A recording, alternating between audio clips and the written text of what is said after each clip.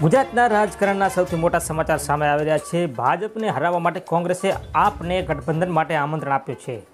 મિત્રો, વાત કરીએ ગુજરાત વિધાનસભા ચૂંટણી જાહેર થયા પહેલાં ગુજરાતના રાજકારણના સૌથી મોટા સમાચાર સામે આવી રહ્યા છે. ગુજરાતમાં કોંગ્રેસે આમ આદમી પાર્ટીને ગઠબંધન કરવા માટે આમંત્રણ આપ્યું છે. કોંગ્રેસના મોટા નેતા ભરતસિંહ સોલંકીએ આ આમંત્રણ આપ્યું છે.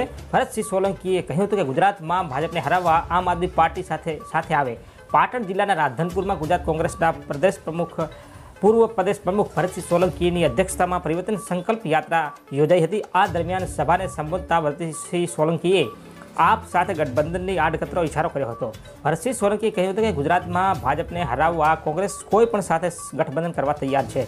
ઉલ્લેખનીય છે કે ગુજરાતમાં ભાજપને હરાવવા કોંગ્રેસને આમ આદમી પાર્ટી આડકતરી રીતે સાથ આપી શકે છે. બંનેનું લક્ષ્ય એક જ છે. આ જોતા ગુજરાતમાં આમ આદમી પાર્ટીનું કોંગ્રેસ સાથે ગઠબંધન થવાની શક્યતાઓ રહેલી છે. જો કે પ્રચાર અને સભાઓ દરમિયાન આમ આદમી પાર્ટી અને કોંગ્રેસ એકબીજા પર પ્રહારો જરૂરથી કરતા હોય છે. પણ આ તો રાજકારણ છે. શક્ય બની શકે છે. મિત્રો, આપનું શું કહેવું છે? જો આપ નવા છો તો ચેનલને સબસ્ક્રાઇબ જરૂરથી કરજો. મિત્રો, ધન્યવાદ. ખૂબ ખૂબ આભાર.